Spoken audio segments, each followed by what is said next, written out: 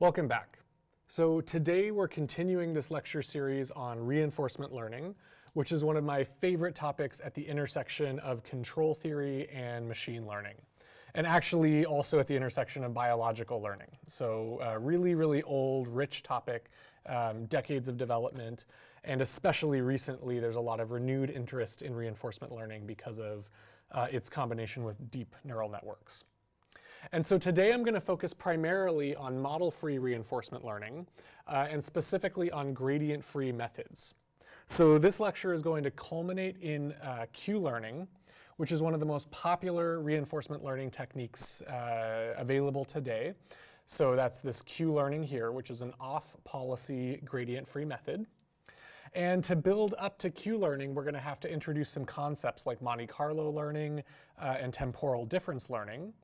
And TD learning, especially temporal difference learning, has really deep connections uh, to biological learning, how we actually learn uh, in our kind of uh, coupled network of, of neurons. So I'm really excited. I think this is going to be a pretty neat lecture.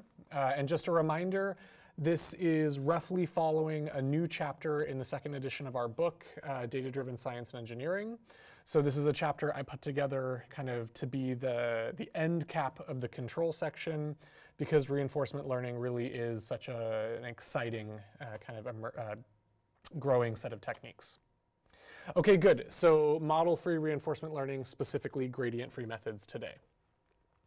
Now, before uh, jumping into kind of all of the, the gradient-free optimizations I'm going to talk about, which is going to culminate in Q-learning, I want to introduce or kind of recap a couple of topics that we talked about in the last few uh, video lectures.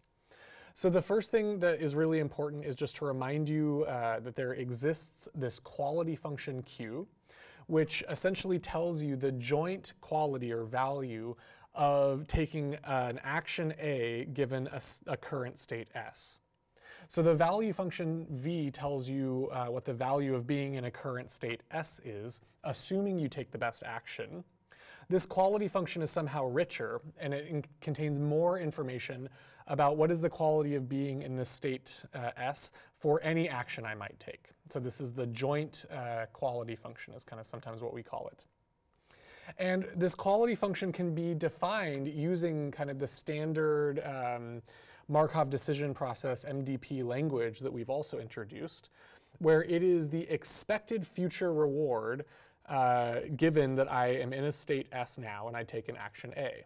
So it is the expected reward function uh, currently, the, the, the, instantaneous reward I'm going to get taking action A now, which will lead me to state S prime, plus any future rewards that I might get uh, just for being in that next state S prime. Okay, so we, we talked a lot about this in the last lecture. And this is essentially just saying that the, uh, the, the quality of being in a state now is my expected current reward plus all of my future rewards for being in the next state that I'm going to jump to.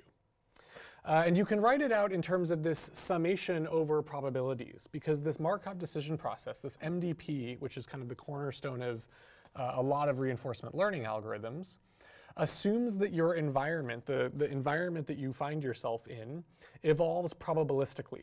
So there's kind of a coin flip uh, randomness element to how the state evolves, even given uh, the same action. So even if I take the same action in the same state, I might have different uh, future states according to some probability. And that's given by this function p. So s prime, again, is my future state. Uh, s is my current state, and a is my current action.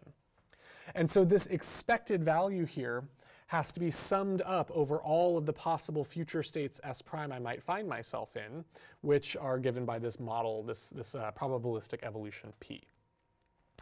So right off the bat, what I want to point out, and this is why uh, we need this lecture that I'm going to give you today, is that all of the learning that we we um, have demonstrated kind of uh, using the Bellman equation and dynamic programming up until now, so policy iteration and value iteration, assume that you have a model for this uh, P, this probabilistic Markov decision process that evolves your, your system forward in time. And we also assume that we have a model for this reward function. And you can then optimize uh, using this knowledge. And if you have this quality function, remember that you can derive uh, the value function at a state S. It's simply the best possible action you could take. It's the quality uh, for the best action A you could take. And similarly, you can derive the optimal policy pi. It's simply the A that maximizes the quality function. It's the action A that maximizes the quality function.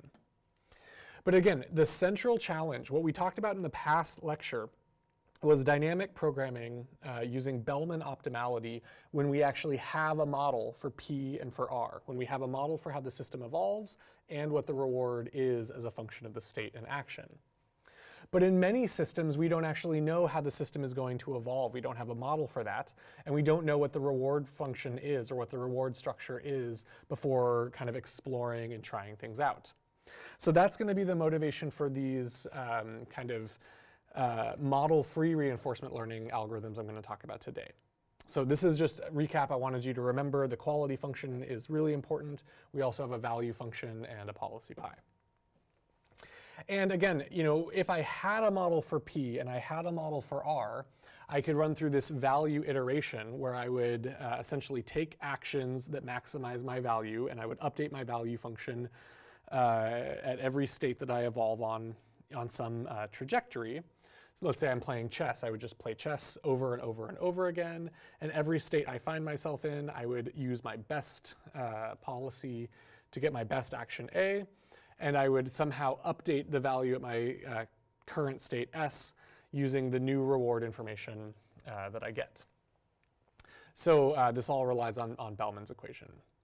But we're going to talk about today when we don't actually have access to a model. So when we don't have access to a model for how the system evolves or what the reward structure is, we essentially are stuck using trial and error learning.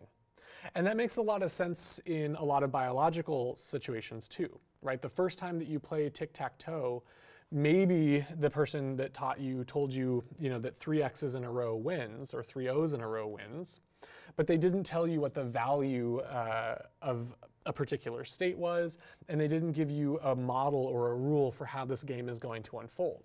You just had to play a bunch of games, learn the rules, and learn the reward structure, okay? And so the simplest approach, and I don't actually really recommend doing Monte Carlo learning uh, unless you have to, but this is almost to illustrate the simplest approach uh, to model-free learning, learning purely from trial and error, is called Monte Carlo learning. And so in Monte Carlo learning, what we're going to first do uh, is define this, this cumulative reward function. So Monte Carlo learning is what's called an episodic learning algorithm which means that it needs to run an entire episode, uh, many, many states uh, action sequence leading to some final end of the game uh, before it can, it can use that information for learning. And so Monte Carlo learning works, you know, in theory for things like games that have a definitive end. Or maybe if you're trying to make a, a racer, you know, a bipedal walker race to a finish line, that would have a definitive end uh, for that, that episode as well. And so what you do is you essentially you pick some policy and you enact that policy and you run through your game. You play your game of chess or you run your race and you compute your cumulative total rewards, of course discounted by this gamma. We always discount by gamma because that's how we can prove optimality in certain uh, conditions. And so based on this total cumulative reward, the simplest thing we could possibly do is take and divvy up that reward equally among every state that, uh, that my system took on the way to the finish line. Okay, so that, uh, I'm gonna demonstrate this for, for value function learning, and it can also be done for Q learning. And so essentially what we would do is at the end of an episode, once we've computed this cumulative reward, how much did I gain over that episode?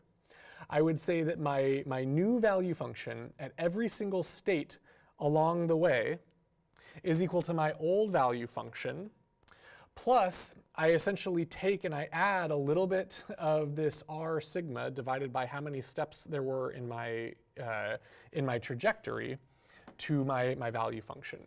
So this is essentially an update that says that we're, our best estimate for our value function is still kind of the old value function, but any states that we, we uh, hit along the way to the finish line, we're going to add the cumulative reward divided by the total number of steps. Now, this is a very inefficient way of learning. You have to play tons and tons and tons of games of chess or tic-tac-toe uh, to actually learn this way because what you're assuming is that every single step you took along the way to victory is equally important, uh, to victory or loss is equally important. So for example, if I played a brilliant game of chess and then I made a bad move at the end, all of those moves would be considered equal in this scheme. Or if I played a bad game of chess at the first game and then my opponent got unlucky and, I, and lost, then I would actually weight all of those bad moves uh, towards, towards this updated value function. But again, this is the simplest, kind of most uh, common sense thing you could do to start accumulating that information you've uh, experienced. So this is the experienced reward, and you just divvy it up over every single step you took to get that reward. Okay, that's, uh, that's what Monte Carlo learning is. And you can uh, do the same thing for Q learning. So you can also update your quality function in exactly the same way, where basically uh, every state action pair that you, uh, you saw along, along the, the trajectory that you just played would get updated again by um, a small amount uh, given by this reward divided by n. Okay, and you can kind of convince yourself that this should be, you know, uh, an, an optimizer. This should actually converge under certain conditions. Okay.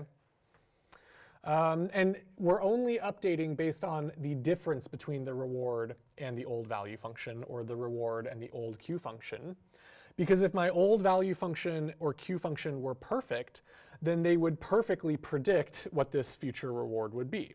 So if I had a perfect value function, this would actually be, this difference would be zero here and zero here. So uh, that, that's why we're kind of updating with the difference between the actual reward and the estimated reward.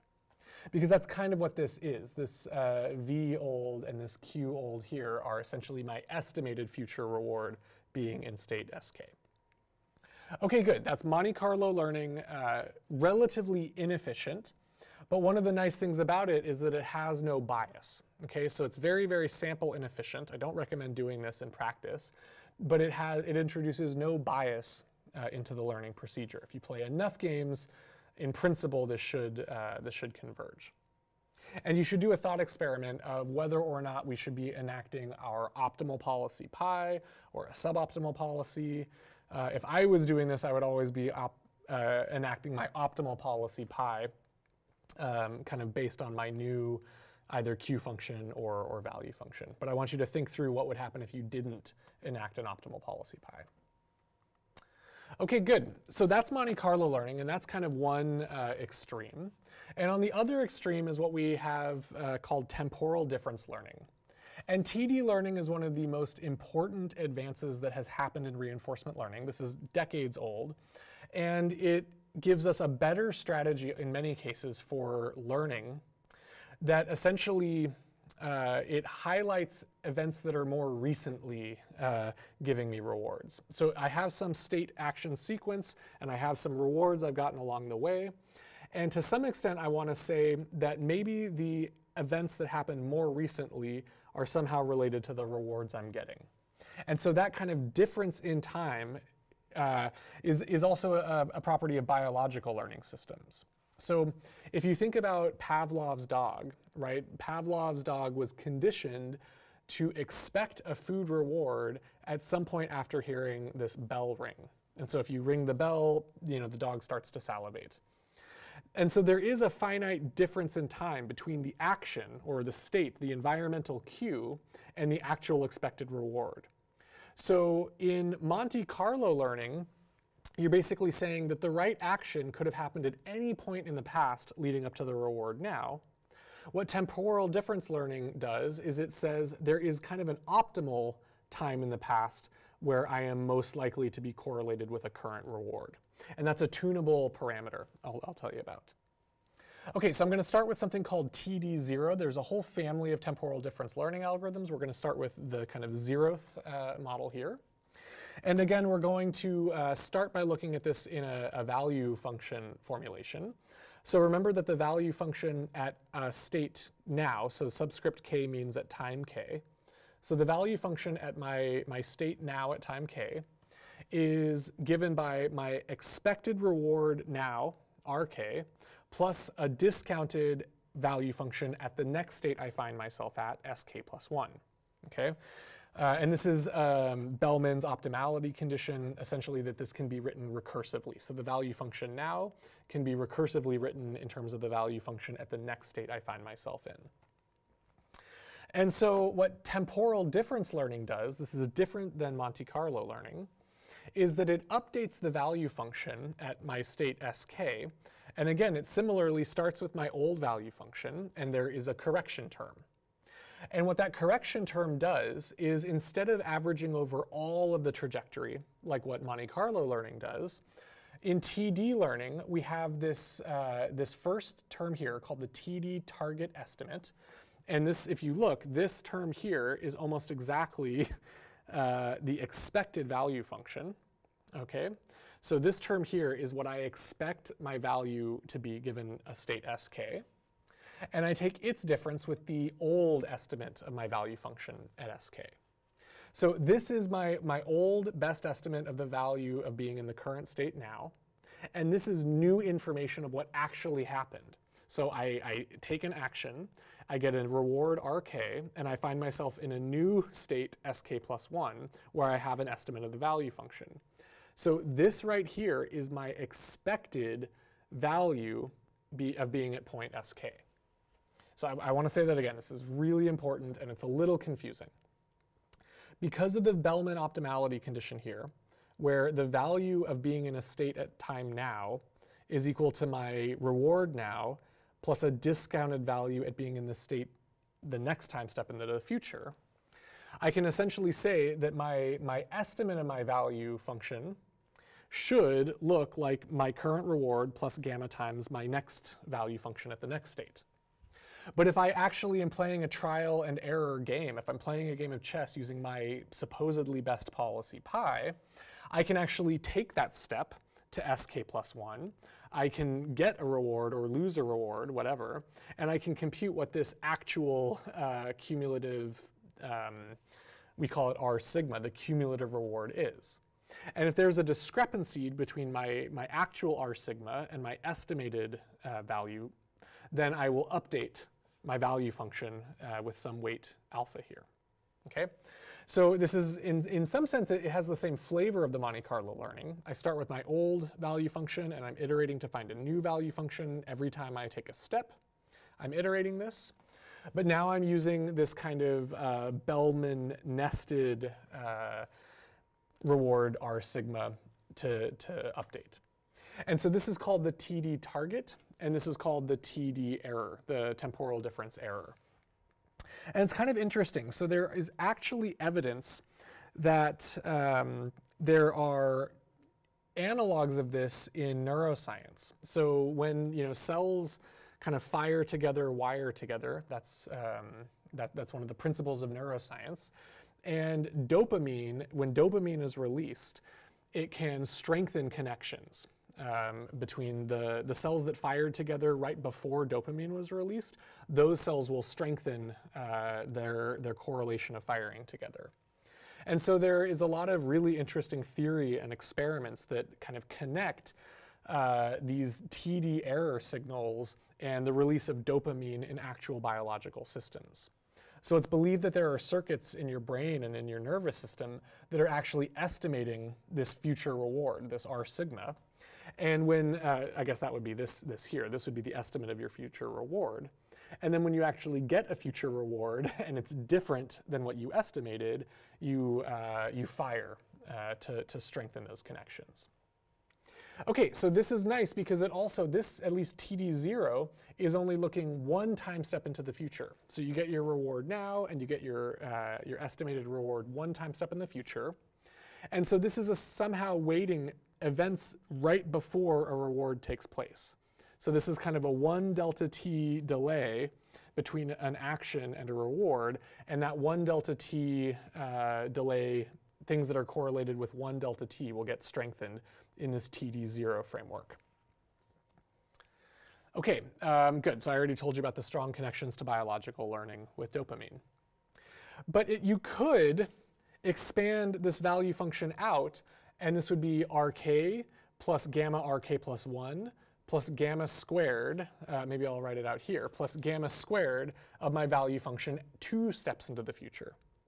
And I can do this as many times as I want. So this is kind of a two-step uh, expansion of my, of my value function using, again, the Bellman optimality.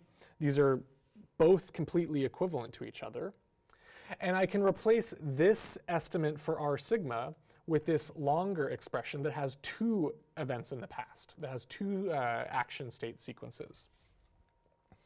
And so if I do that, now I have uh, kind of a richer set of experiences of what my actual cumulative reward is, now taking two steps into the future. And I can use that as my, uh, to generate my, my temporal difference error signal that I use to update my, my value function. And you can imagine doing this as many times as you want. Um, you could have an n-step cumulative reward.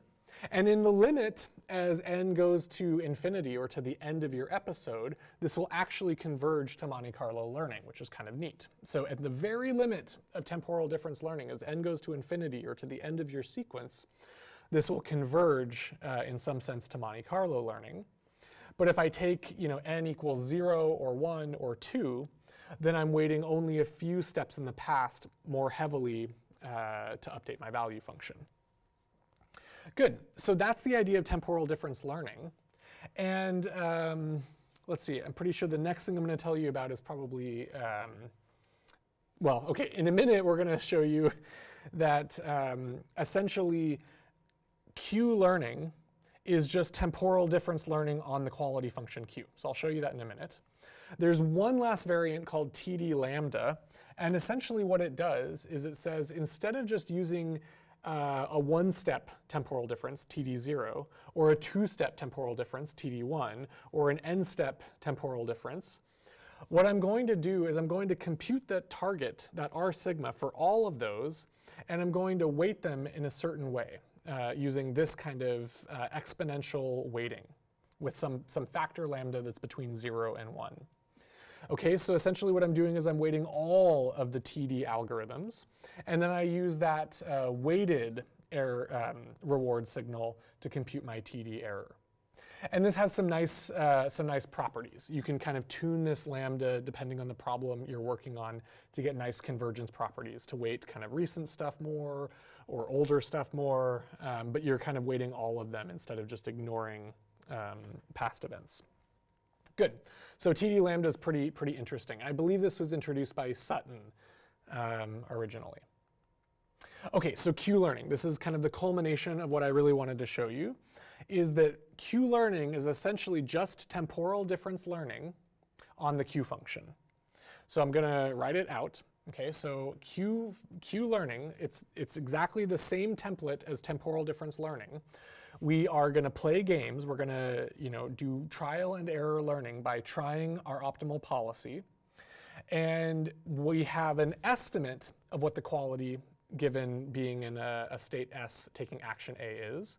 But that's not a perfect estimate. We're, we're still learning.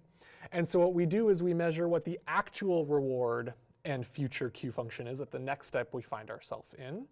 And we use this as the TD target uh, for TD learning. So again, this is the, the TD target estimate. This is essentially my observed uh, cumulative reward. And I use that to generate an error signal, which I feed back to update my Q function. So essentially what this means is that if I got more reward than I thought I would, I should increase my Q function at that S and that A. Okay, so that's what that means. If I, if I experienced more reward than what I expected, I should have a positive increase in my quality function at that SK and AK. And you'll notice here, this is a very subtle difference. I'm going to say this again, very subtle difference. Here, we're maximizing over A. So what we're actually doing is we, we take some step, we take some action A to get our reward RK, but it doesn't have to be our optimal on policy action AK. It could be, I could actually do some random action to get this RK, But then when I'm computing my quality function here for what my value kind of is in that next state, sk plus 1, we're going to optimize over actions A, at least to compute this TD target. Now this is a little bit strange, but I'll tell you kind of what this means uh, in a minute, okay? So um, we call that off policy, which means that I can actually take suboptimal actions A. I don't have to enact my optimal current policy pi. I can take suboptimal actions A to get this, uh, to get this reward. But then I do need to maximize over A to get my, my best uh, Q function in this step of the, of the TD target. Okay? And this has a lot of benefits which uh, essentially I can learn from experience. I can replay old experiences, even when I know that those were not using an optimal policy pi, because I've learned more since then. Or I can watch a grand master play, and even if my quality function is not very good because I'm an amateur, I can watch their actions and learn from their actions. So I'll, I'll, talk a little bit more about this, but that, that essentially is what we mean by off policy, is that you can still learn even if you take suboptimal actions A. Uh, and you'll notice that this is a TD0 variant because this is only taking one uh, step forward and then using the recursive Q formulation. Good. Um, there is a, another variant. So Q learning is off policy TD learning of the Q function. And there's something called SARSA, which is on policy TD learning of the Q function. Very closely related, only a tiny, tiny difference, but it's an important one, and I'll tell you about it. So SARSA means state action reward state action. It basically means you start with a state action, you take a, you're in a state and you take an action, you measure a reward, and then you uh, are in another state and you take another action. Okay, SARSA. And so here you'll notice that this is the exact same expression, the same exact uh, temporal difference learning expression, TD0, except here I am not doing a max over Q, uh, a max over A, in this part of the TD uh, estimate. And so what that means is that I actually have to be taking my best possible policy actions, uh, A, AK plus 1 uh, and AK at every step, or else this will start to degrade uh, my estimate. Because the quality function Q is always my estimate of the quality of being in that next state, taking that next action, assuming I do the best thing forever after. Okay? And so if I don't plug into here my best possible A, and into here, if I didn't take my best possible action AK to get this reward, then this will actually be a suboptimal estimate of my, my quality function, and it will start to degrade uh, as I iterate through. Very subtle difference, and I'll put them next to each other so you can see the difference. Uh, but this is what's called on policy because you have to enact uh, the optimal policy for this to work, for this to converge and not degrade. One of the cool things about SARSA is that SARSA can actually work for any of the TD variants. I showed it for TD0 here, but you can do it for TD1, TD2, TDN, and you would basically just replace this TD target here with a more complex or rich expression uh, taking more steps. And again, if you think about this, what this means is that you have to take actual steps. You actually have to take actions and get that trial and error experience. And then you look back and you see, okay, well, what were my sequence of events and rewards? And you can use that to update your quality function after gaining that experience. Good. So, so uh, yeah, good. This is, um, yeah, and you can essentially just replace this uh, TD target for the cumulative reward with any old uh, TD algorithm you like, TD0, TD1, TDN, or uh, the temporal difference lambda scheme I showed you a minute ago. Okay, and so this is on policy TD learning of the quality function Q. So I want to show these kind of simultaneously next to each other so that we can compare and contrast, because they are almost perfectly identical, okay? Except, again, Q learning is what's called off policy, and we enable Q learning to be off policy by replacing this 1 a k plus 1 here with a max over a here. Because again, the quality function and the value function are uh, always assuming you do whatever is optimal in the future. So they're always assuming that after the next step, you do the best thing forever after. So it's the optimal kind of quality of being in that state. And so if you didn't maximize over A here, then if you took an off policy A, a suboptimal action A, this would actually degrade your quality function over time. But because we are actually optimizing over A in our quality function at the next step, we can take suboptimal actions A to explore and to learn from off policy experiences. And again, this is a huge, huge benefit. So uh, this kind of off policy, this, this single difference here that allows us to be off policy is one of the things that allows Q learning to learn uh, from a lot of different types of experiences. So you can watch someone else play a chess game and still learn in an off policy manner. Even if your quality function is not as good as the grandmasters that you're learning from, you can accumulate information about how they play and improve your quality function.